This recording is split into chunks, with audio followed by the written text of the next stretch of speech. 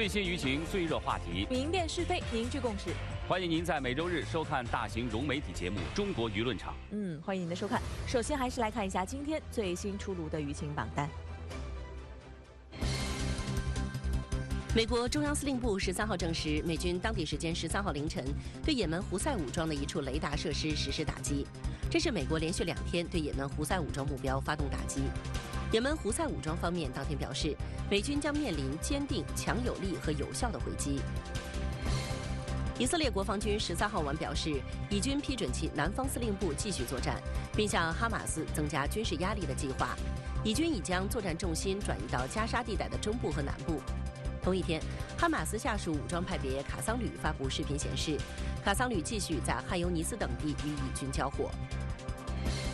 当地时间十二号，联合国安理会就当前红海局势举行紧急会议。中国常驻联合国代表张军表示，美英打击也门胡塞武装目标的军事行动无法实现其宣称目标。俄罗斯常驻联合国代表聂边甲指出，美英此举是对整个也门明目张胆的武装侵略。国台办发言人陈斌华十三号晚就台湾地区选举结果表示，这次台湾地区两项选举结果显示，民进党并不能代表岛内主流民意。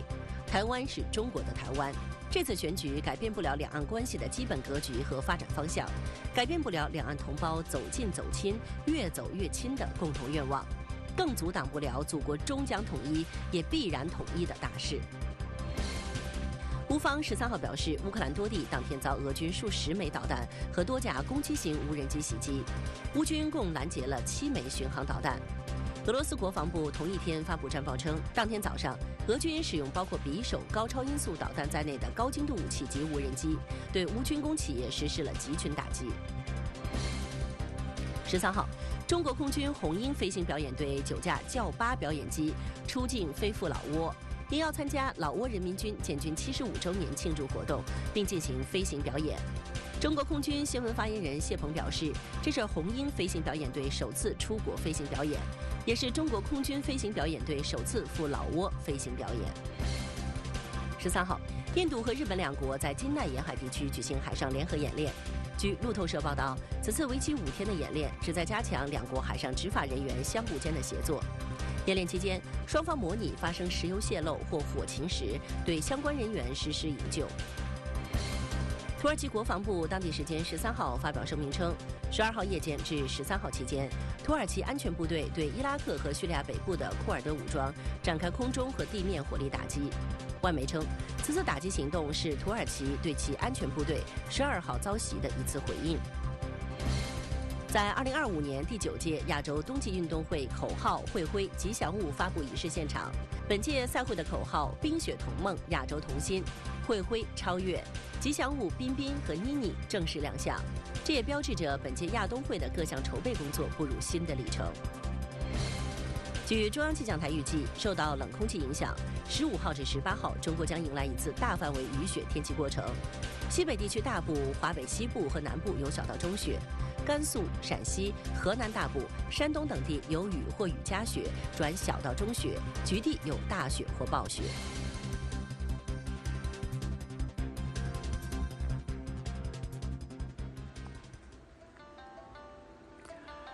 联通智家幸福到家，全屋光宽带，千兆全覆盖。本节目由中国联通独家冠名播出。中国味鲁花香，中国舆论场由鲁花五 S 压榨花生油赞助播出。鲁花五 S 压榨花生油去除黄曲霉素技术发明专利，鲁花荣获国家科技进步奖。好，我们接下来关注来关注一下新闻啊。日前呢，二零二五年第九届亚洲冬季运动会组委会在黑龙江省哈尔滨市举行了。口号会徽吉祥物的发布仪式，这也是继北京冬奥会之后啊，我国将举办的又一次综合性的冰雪盛会。与此同时呢，哈尔滨的文旅热度也是在持续的升温。总台文创大篷车也开进了冰雪大世界。那么接下来马上来连线一下总台前方的记者张成，来了解一下现场的情况。你好，张成啊，现场呢非常的热闹啊，来给我们介绍一下你的具体位置，现场的情况给我们介绍一下。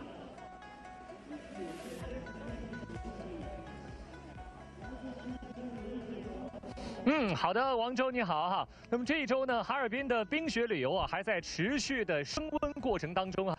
呃，那么就在上周，我们刚刚才送别来自广西的小折耳根哈，不，来自广西的小砂糖橘啊。那这一周呢，在冰雪大世界里面，我们又来了来自贵州的小折耳根，来自北京的小烤鸭，来自山东的小葱花，还有来自宁夏的小洋芋。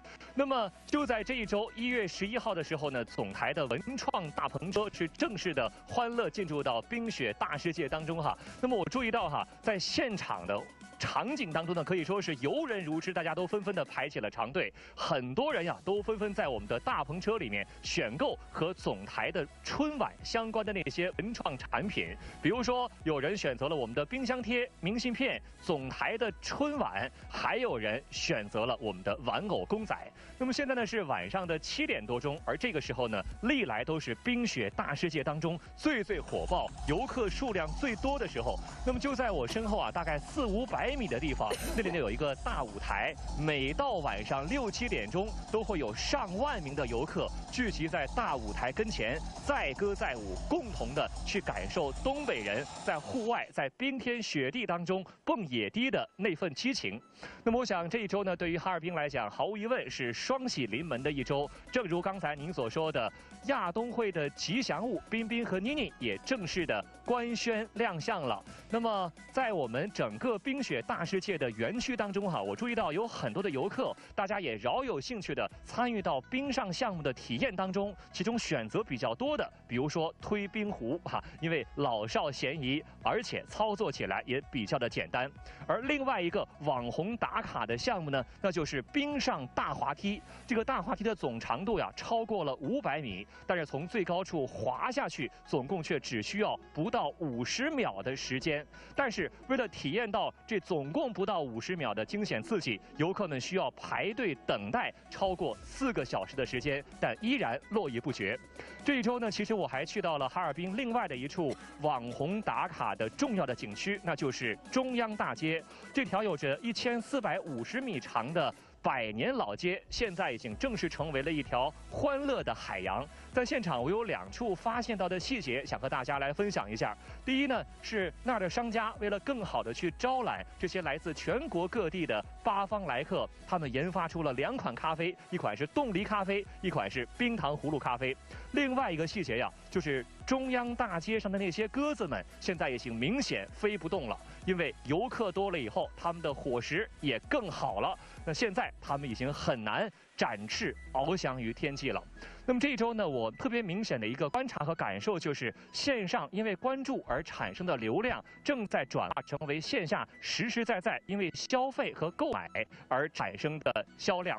一开始我们可能是以冰雪游而开头，现在已经变成了文旅热、美食香和旅拍火。我们会看到，在整个城市现在呢，其实到处都是来自天南海北的客人，而尔滨也拿出了满腔的热忱来迎接和守护着这些八方来客。那么，我想这既是一个很好的展示大东北精神面貌的窗口。也一定会是一条搅一池春水，激活各地文旅们开展良性竞争的鲶鱼。主持人，我这的情况就是这样。好的，非常感谢张成在哈尔滨的冰雪大世界为我们发回的报道。那接下来游子看故乡，共绘同心圆。那本周的爱在中国呢，我们将带您一同来领略一城青山半城湖，江苏徐州的独特魅力，来看一下。徐州古称彭城，具有五千多年的文明史和两千六百多年的建城史。悠悠楚韵，泱泱汉风。徐州有勇有灵有汉画有山有水有古刹。汉代三绝名扬海内外，两汉文化看徐州实至名归。徐州山水相连，南秀北雄，七十二座山峦连绵起伏，七大湖泊点缀其中。云龙山古树葱郁，微山湖渔舟唱晚。大运河航运交织，八百里马陵风景如画。徐州全国通达，五通汇流，五省通衢达天下，彰显着徐州的开放包容和兼收并蓄。徐州居者幸福，来者流连，闻者向往。中国式现代化徐州新实践的现实图景正在生动展现。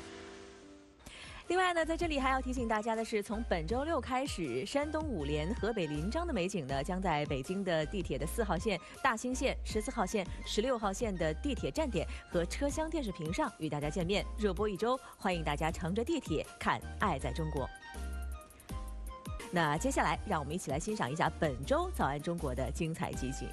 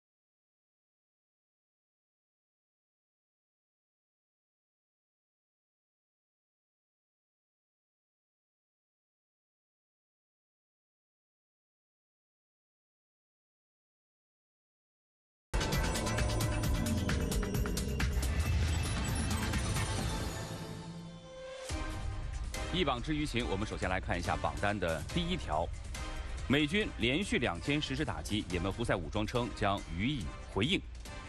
当天，当前红海局势呢是陡然升级，多国对美英空袭也门也是表达了强烈的抗议。我们来看一下短片。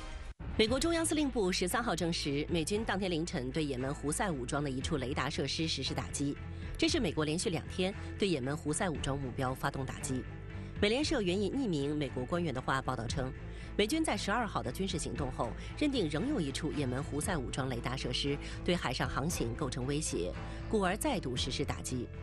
此前，美国总统拜登表示，对胡塞武装目标的打击向伊朗传递了一个信息。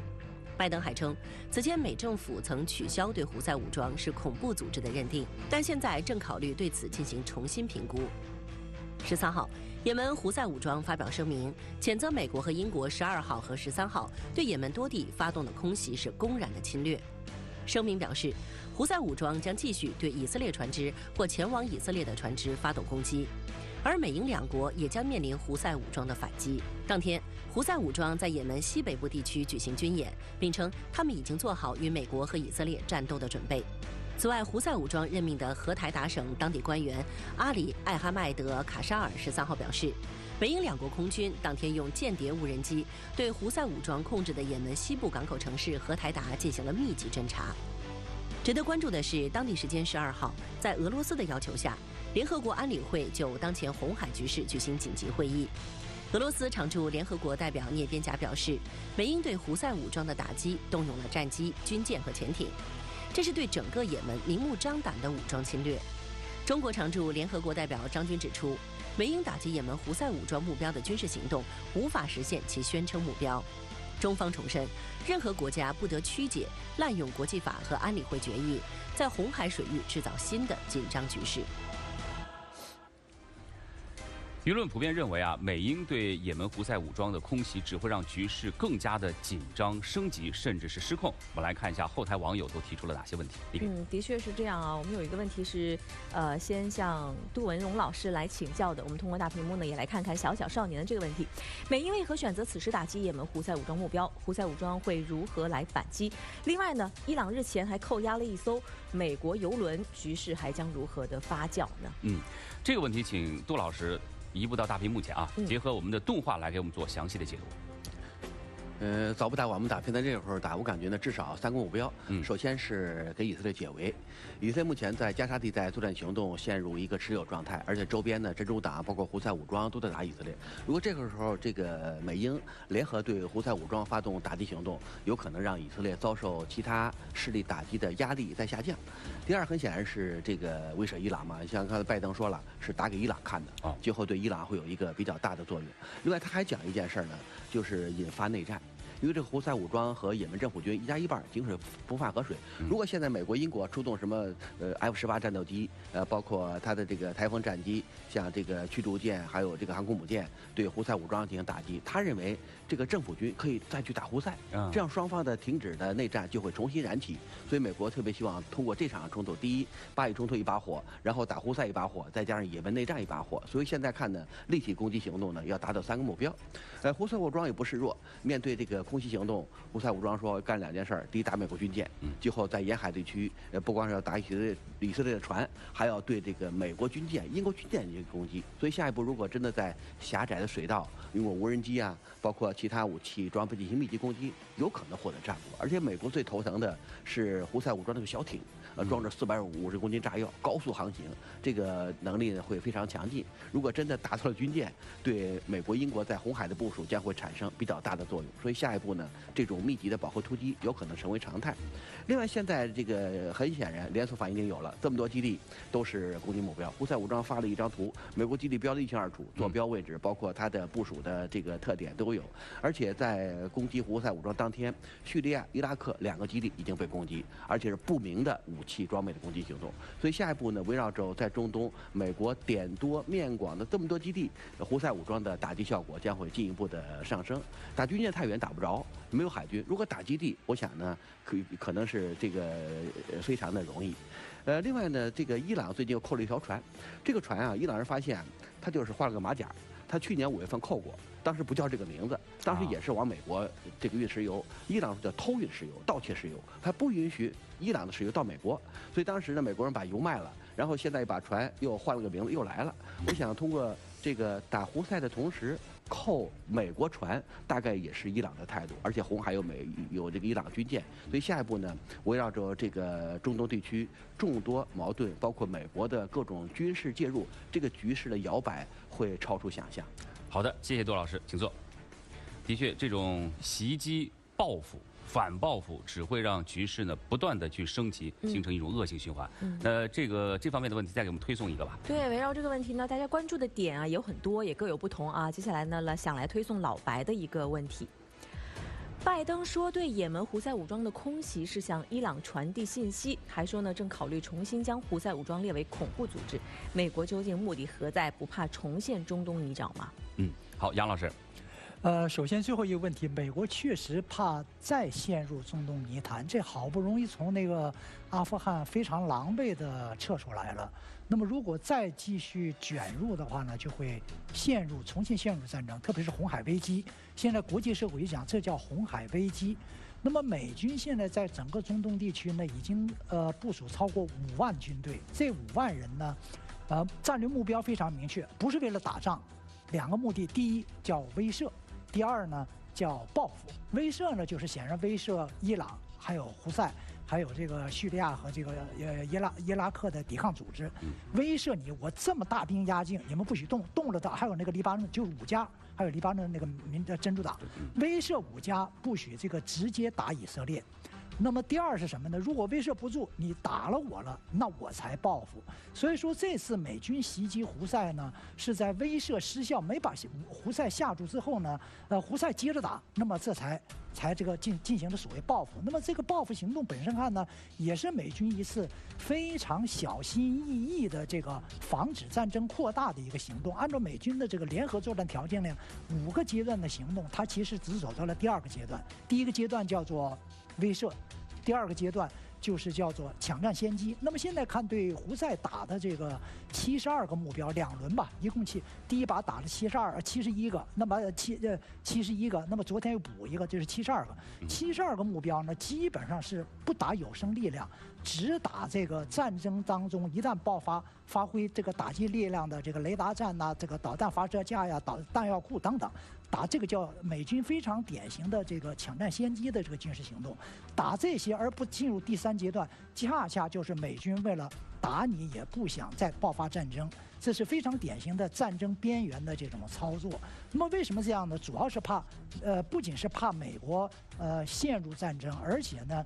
也怕引爆世界经济的灾难。事实上，现在呢，呃，美元乃至西方央行加息的步骤不呃减息的步骤不得不停下来，因为整个的油价、大宗商品市场由于红海危机呢开始上升。那么美联储的这个减息如果出现拐点的话呢，呃，不仅对美国经济是个打击，而且对全球经济，包括对拜登的胜这个竞选都是影响。所以说，综合考虑下来，美国现在采取了两手策略。第一呢，就是继续加强威慑。那么你看这次打击的时候吧。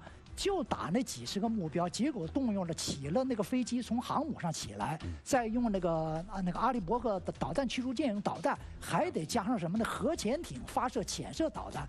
其实呢，这么多的大兵器压上来，每个上边每每一家就布置几个弹的这个导弹，目的就是说我有所有的大杀器，但是我不是真跟你打。这种威慑性的打击呢，实际上恰恰反映出美国一手叫威慑，一手呢。就是防止你不要打，因此呢，美国才有了第二手动作，就是向伊朗，他认为这是这个胡塞的后台，写了一个私下的信件。美国跟伊朗别看那么对立，始终有秘密的外交渠道。那么外交渠道究竟信写了什么不知道，但是拜登总统的一句话耐人寻味，他说：“我们相信我们充分做好了准备。”这个准备呢，你可以往两个方向想。我们充分做好了准备。如果你再扩大，那我这么多大杀器就不是象征性的，呃，这个航母打你几发，这个佛罗里达驱逐舰打你，不知道这个核潜艇打你几发，不是这个了，那是整个毁灭性打击。但是另一个充分准备是什么呢？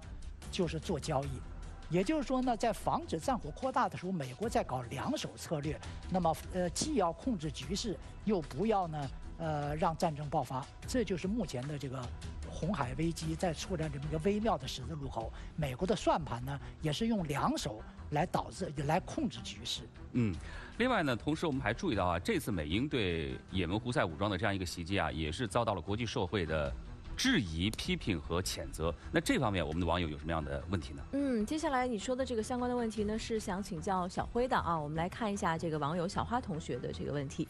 呃，美国袭击胡塞武装未经国会批准，遭到了美国舆论的批评。那此外呢，中方明确指出，美英此举未经安理会授权。俄罗斯称，美英此举是对也门明目张胆的武装侵略。那么多方的压力之下，美政府会收手吗？嗯，张辉老师，总体的判断，美国会收手。美国会对这个胡塞武装的打击进行这种尺度和范围的判断。那么美方呢也会调整自己的策略，一直打下去。现在呢并不是美国的目标。但是呢，网友问，多方压力之下，美国会因为压力收手吗？美国的收手显然不是因为压力。我们会看到，现在美国在中东它的整体的政策一系列的动作，其实是一个不断试错的过程。而现在的美国的这个试错，从效果来看，大家非常担心的。是引起巴以冲突升级之后地区局势的进一步的失控。我们一直在谈的这个冲突扩大外溢的风险。那说到美方国内的压力，这并不是拜登政府关注的一个核心。其实呢，在美国国内，长期就这个战争发动权力的问题一直有这种争吵。美国国会呢，希望能够更多的控制总统，说如果总统呢发动战争，必须要经过国会批准。当然，对于总统来说呢，总统一直强调的是，发动军事行动的时候，往往是有他的这种应激。性，所以呢，通过国会的这种漫长的程序，首先技术上是不现实的。那么同时也强调的是，总统有这个权利，希望扩大这个权利。那今年呢是美国的大选年，其实对于美国总统来说，一个极大的诱惑是发动军事行动，它所产生的所谓的聚集效应。也就是说，当对美国眼中的一个目标对手进行打击的时候，美国国内的民众因为这种不安全感，会产生一种所谓的同仇敌忾，会对总统的支持率是有利的。那对于拜登来说，他会念念不忘的是。九幺幺事件之后，小布什的支持率一度飙升到百分之九十，这就是大选年的诱惑。那么说到这个联合国的授权，这也并不是美国第一次绕开安理会的授权。我们会看到，二零一八年当时美国针对叙利亚境内目标进行打击的时候，同样也是未经授权的。在美国眼中呢，自己的一个借口、一个理由已经足够。所以呢，这个时候网友所提到的压力，并不是美国关注的重点。但是说到美方试错，我觉得首先呢，在红海，现在美国的行动并没有。产生对胡塞武装足够的压制效果。那么，如果引起红海地区局势失控，影响到航道，影响到欧洲经济、世界经济的话，那盟友会抱怨，盟友的抱怨，美国还是要买账的。那么，另外呢，杨老师刚才谈到伊朗，对于伊朗来说，美国当然不希望因为对胡塞武装的打击，让这个伊朗真正下场子，这是美国试错的一个标准。那么最后呢，美国也关注到的是以色列和阿拉伯世界，它在安全和经济方面的和解，如果得不偿失，对于美方来说呢，也要及及时。收手。嗯，好，继续来关注一下榜单的第二条。以军继续在加沙地带呢开展军事行动。以军十三号表示呢，已将作战的重心转移到了加沙地带的中部和南部。那么，关于巴以冲突的最新情况，我们马上来看一下总台驻耶路撒冷记者赵兵稍早前发回的报道。当地时间十四号呢，是本轮巴以冲突持续第一百天的时间。当我们再次来到以色列同加沙的边境地带，看到前方的情况与此前并没有太大的不同。虽然以军声称其减少了在加沙地带北部的军事活动，甚至是撤出了部分以军的部队。但是根据我们今天的经历啊，通往加沙边界附近的区域的道路依然是被封锁。那路边呢也没有看到以军撤离的痕迹，包括我们身后三公里外的加沙城镇拜特哈嫩呢，还是能够呃听到传出这个交火的声音。同时呢，以军十三号还批准了其南方司令部继续作战，并向哈马斯施加更大军事压力的计划，将其作战行动更多的集中在加沙的中部和呃南部，以所谓摧毁哈马斯和促使乙方遭扣押人员获释。甚至根据以色列总理内塔尼亚胡在十三号的讲话，以军不排除出兵控制加沙地带与埃及的边境地区。内塔尼亚胡称呢，如果以军不能够控制连通埃及和加沙的地区，那么就无法消灭哈马斯，无法实现加沙的所谓非军事化，以军也不会结束战争。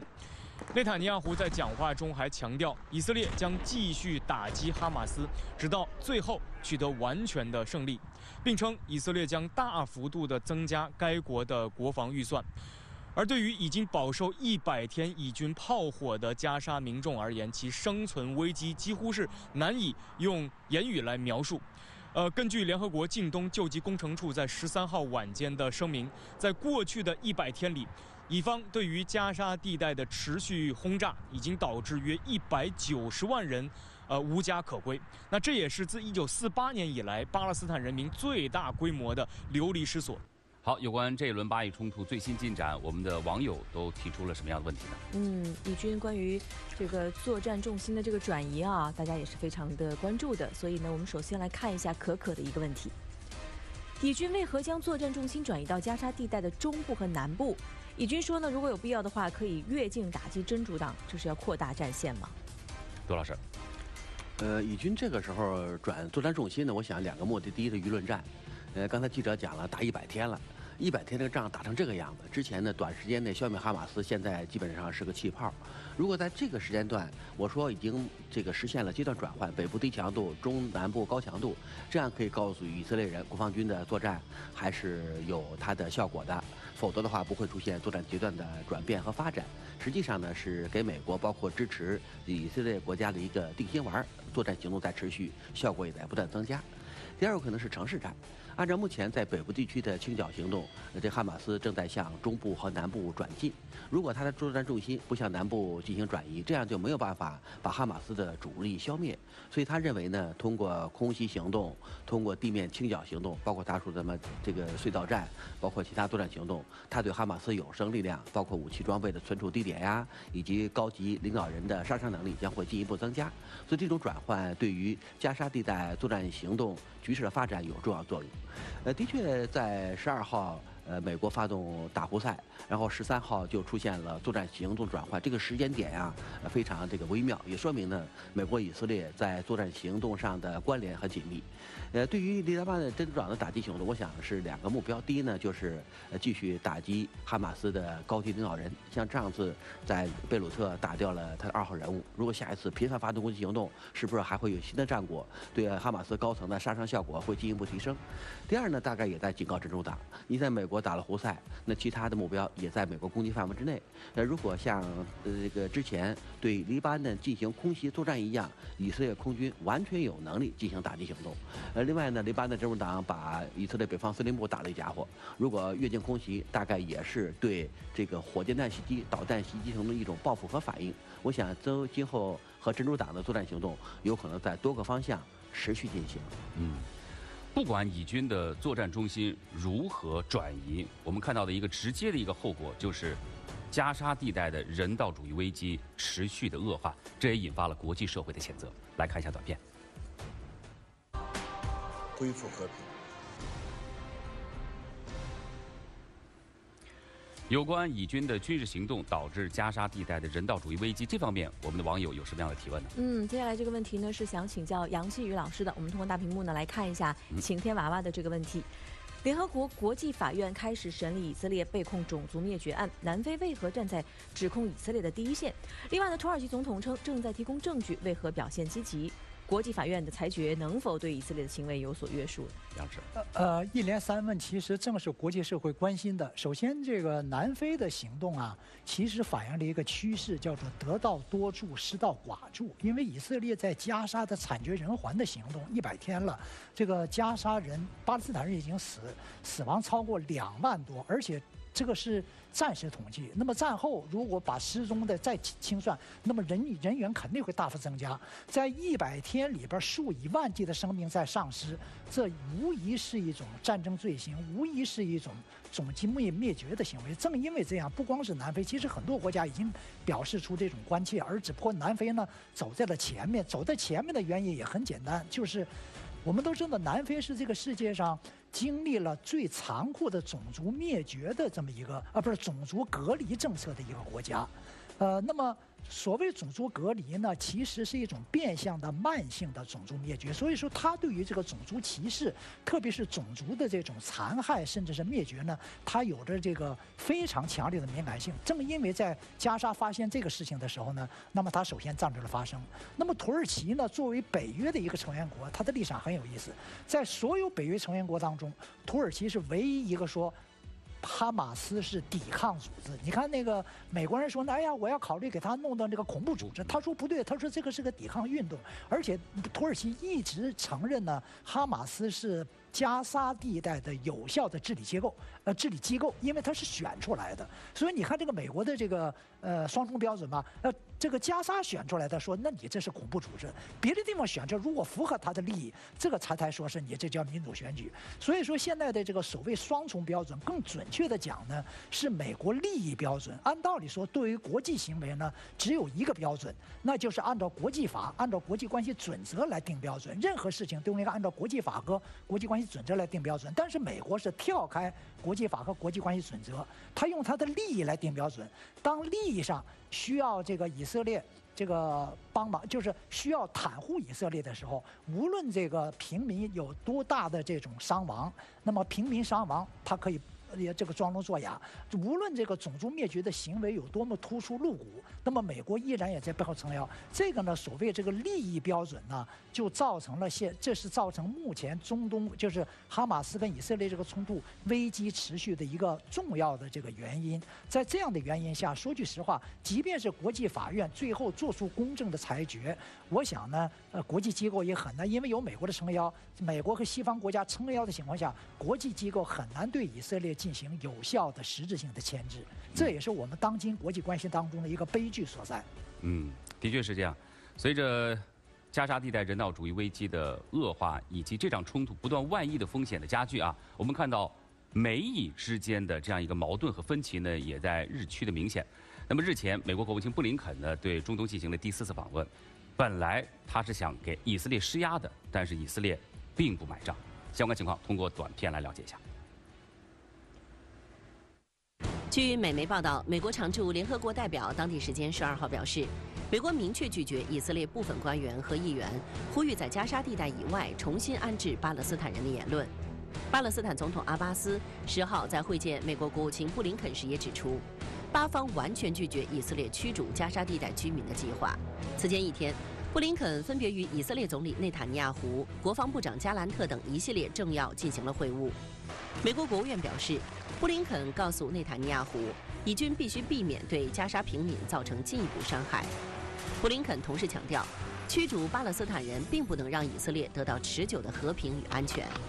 对于美方的施压，以色列国家安全部部长本格维尔九号在社交媒体上向布林肯喊话称：“现在不是对哈马斯轻声细语的时候，而是使用大棒的时候。”此外，法新社报道也指出，内塔尼亚胡仍然反对用两国方案解决巴以冲突。有分析指出，美国长期以来在巴以问题上拉偏架，布林肯这趟中东之行更像是一场为了平息地区不满情绪的作秀，难以取信于人。另据外媒报道，当地时间十号，伊拉克民兵武装伊斯兰抵抗组织称，该组织当天向两处美军驻叙利亚基地发动了武装袭击，并向伊拉克库尔德自治区一处驻有美军的军事基地发动了无人机袭击。而以美国为首的国际联盟近来也在伊拉克境内发动了数次针对当地民兵武装的空袭。伊拉克各界人士认为，国际联盟已经没有理由继续在伊拉克存在。对此，美国国防部称，美国目前没有从伊拉克撤军的计划。我们可以清楚的看到，面对美国的施压，以色列的回应不再是随声附和。那这方面，来给我们再推送一下网友的提问吧。嗯，网友关注到了美以矛盾背后的一些问题啊，所以呢，我们一起来看一下网友辣不辣多的一个问题。美方明确拒绝以方重新安置巴勒斯坦民众的言论，内塔尼亚胡呢则坚决、坚定的反对用两国方案解决巴以冲突。美以在这两个关键问题上的分歧难调，折射了哪些问题？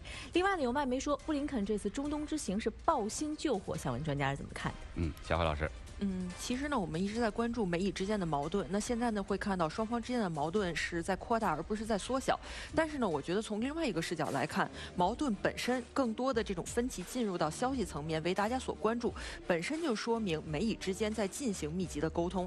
也就是说呢，双方已经开始密谋所谓的未来加沙、加沙地带在战后的治理方案等一系列的问题。从目前来看呢，应该说已经有三方面的方案已经开始浮出水面。一个方案呢是现在美国希望美。美欧的军队能够对加沙地带进行临时的监管。那么，如果这个时候地区大国像这个沙特和阿联酋能够加入的话，是一个所谓更完美的方案。那么，第二个方案呢，是模拟西奈半岛、西奈半岛和周边地区。那么现在呢，有一些多国部队以及呢观察组。那么这个时候呢，如果设立一个维和部队，对以色列和埃及之间的这种和平协议的和平条约的相关的条款能够执行，也是一种方案。那么第三三种方案呢，是联合国发挥一定的作用，进行这种临时。的治理，但是呢，三个方案提出，可以看出呢，以色列也有自己的态度。刚才呢，网友也关注到了一系列的分歧。这个时候，我们会看到，对于加沙未来的问题，美国和以色列首先有一个极大的共识，那就是同意不让哈马斯继续控制加沙地带。但是呢，这个时候呢，美国非常需要的是以色列方面的配合。也就是说，说到治理方案的问题，战后治理的问题，美国现在感受到了一定的压力。如果呢，以色列不断的在谈要把这个巴勒斯坦人赶出故土，那么会。增加美方的压力，同时呢，涉及到两国方案。美国呢，尽管并不认真执行，但是却愿意谈两国方案，来展示自己的所谓的对于这种国际上达成的共识，大家所期待的未来的这样的一种积极的态度。那么这个时候，我们会看到问题的实质，包括网友所关注到的，为什么布林肯的中东行程是抱薪救火？因为美国是要转移自己的压力，美国是要进行自己需要的战略布局。说到压力，一方面加沙地带的人道主义危机，而另外一方面，很明显的。是美国担心的是。当前因为巴以冲突造成局势的失控，很明显，布林肯的访问的行程是看到了离以边境可能会失控的风险。那么，美国也在计划对红海地区的动作。美国希望能够有所动作，但又担心失控。那么这个时候呢，涉及到这个未来美国的这种整体的战略上的布局。很显然，美国是需要以色列方面来进行配合，希望呢以色列方面考虑到美方的一系列的这种诉求。所以呢，这一次的抱薪救火，一方面呢，美国还是在偏袒以色列。而另外一方面有自己的目标，所以呢，大家会得出一个结论：要想中东地区的局势能够降温，避免冲突失控，其实最根本的是要以色列停止在加沙地带的大规模的军事行动。如果美国恰恰忽视这个关键的话，那么最终肯定是抱薪救火。嗯，好的，感谢小辉的解读。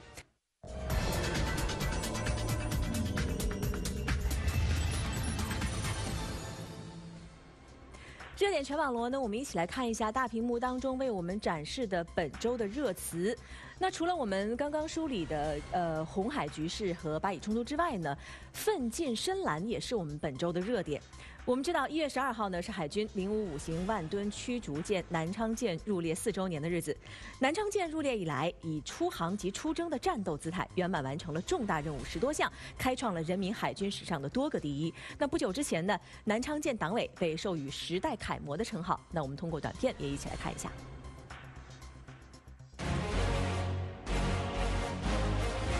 南昌舰是海军零五五型万吨驱逐舰首舰，装备有新型防空、反导、反舰和反潜武器，具有较强的综合作战能力。二零二零年一月正式加入人民海军战斗序列。战斗启动。不久前，南昌舰赴黄海海域参加实战化训练。从在空中威胁下的对海作战，到舰艇大角度机动条件下对空抗击，再到复杂电磁环境下导弹攻击，南昌舰全舰官兵三天完成四十个科目，涵盖对岸、对海、对空、反潜等多个层面。在一次与辽宁舰编队的实战化部署演练任务中，南昌舰作为舰队属舰。全舰官兵连续二十多天时刻保持战斗状态，在持续对抗缠斗中直面外军挑衅。当外军飞机逐渐逼近的时候，我们的预警探测设备全程追瞄，我们坚强有力回击了外军的挑衅。近年来，南昌舰随航母编队加快提升体系作战能力。过宫古、出巴士、奔西太、下南海、闯深蓝，在风云变幻的国际形势中劈波斩浪，成为彰显大国自信和实力的窗口。同样值得关注的是，近日南部战区海军某驱逐舰支队零五五型万吨驱逐舰延安舰与多型多艘军舰结蓝起航，驶向任务海域展开新年度首次海上训练。任务海域。舰上雷达发现多批低空慢速目标来袭，各舰密切协同，迅速调整阵位，组成防空队形。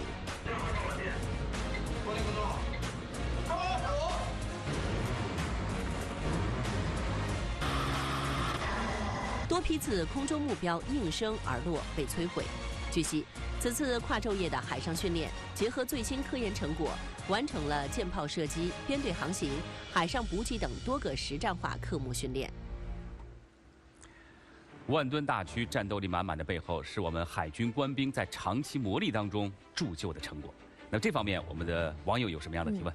的确是从他的这个，从大家的评论和提问可以看得出来啊，我们网友的情绪都很高昂。所以呢，我来选一个有代表性的问题来看一下追星性的人的这个问题。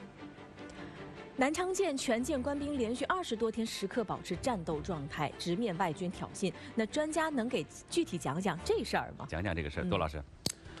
呃，南昌舰能力特高调，但是呢，其他方面特别低调。如果这次不是被授予时代楷模，很多事儿咱们真不知道。呃，据我所知呢，南昌舰服役四年，已经航行了十万海里。如果换算成咱熟悉那个公里数是十八点五万公里，呃，如果按照这个年份去测算，你可以算出每年到底能跑多少，而且跨越了四十个纬度。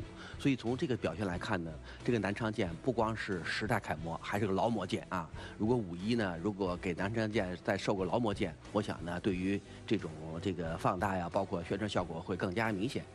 呃，南昌舰的确很多事迹啊，是近期呃通过新闻报道才知道，但是听了以后特震撼。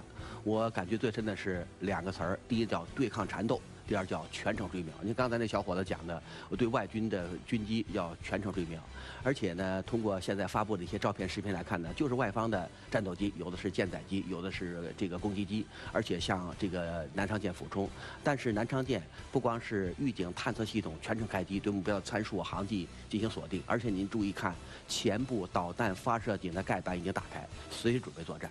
所以从这种戒备状态，包括作战能力来看呢，的确把中国海军这种亮剑精神表现得非常的优异。呃，所以下一步如果针对不同的空中目标，咱们现在远中近、高中低的这个防空反导武器装备体系，一定不会让我们失望。另外呢，对抗缠斗，刚才我又听说一件事儿，说是二十多天。然后呢，全程在进行各种这个对抗行动。我记得南昌舰有一个小伙子讲了句话，说我们在能靠看到对方甲板士兵的距离上，舰长命令加速。所以这个状态呢很难得。如果面对外舰的挑衅行动，我们是加速向前，敢于这个迎向前方，这个能力很强。而且据介绍呢，当时是我们正在掩护航空母舰搞训练，而且对方的军舰要企图穿越编队接近航母。呃，这是绝不能够发生的事儿。我们零五五大区号称是航母的带刀侍卫长，能力啊，包括其他方面很强悍。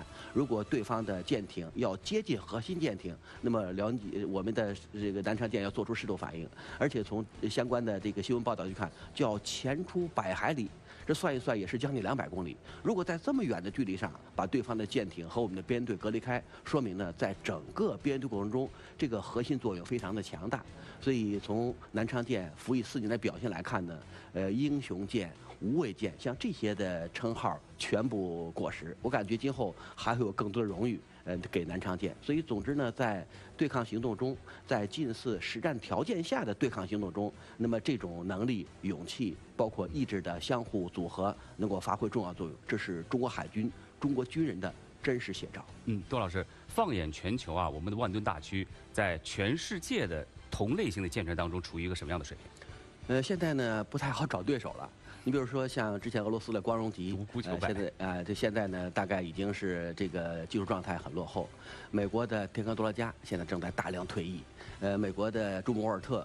呃，目前呢，造出有美国海军特务满意，说花这么多钱，结果七十个导弹发射管现在跟一般的伯克级都不如。所以我们目前呢，呃，这种能力包括设计，正在被很多国家追随。你像美国的呃 KDGX，呃，包括这个德国的幺二七，还有其他国家都在这个模仿我们的南昌舰。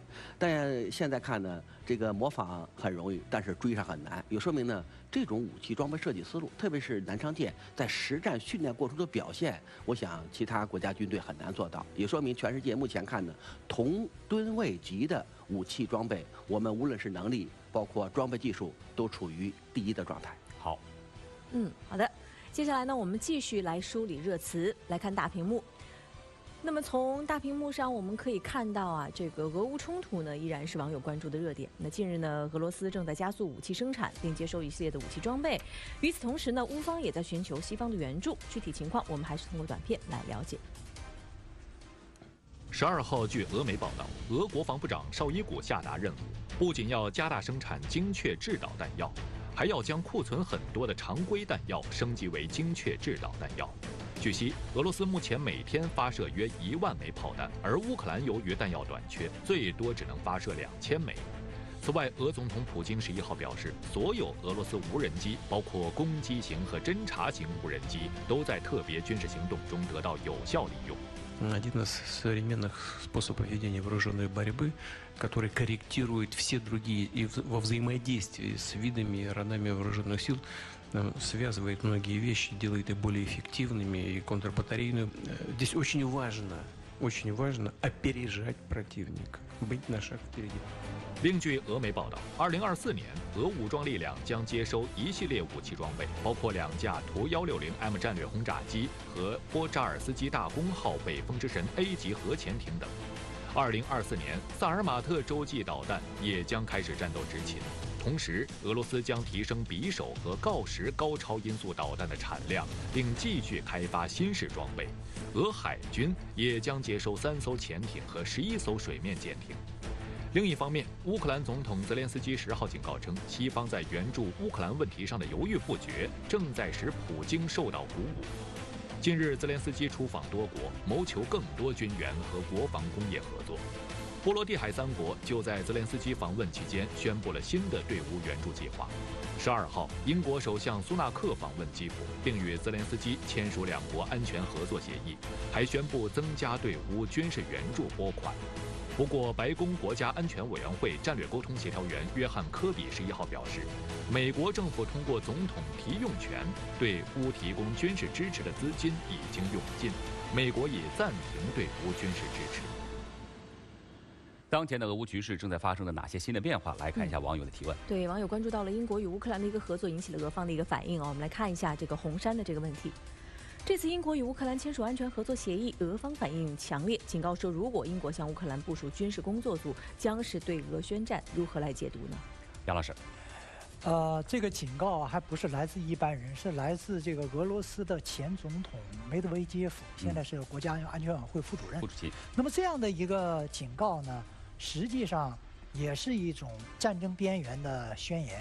就是说，我们知道这个英国呢，现在在美国顶不上的时候，呃，那么他当了先，当先这次有个新动作，就除了这个大笔的金金钱的援助之外呢，那么也准备派这个军事工作组。那么这个所谓军事工作组呢，在俄国人看来就是，你这叫军事先遣队。所以当时梅德韦杰夫他用的词是，你要是部署任何形式的军事先遣队，那就等于是宣战。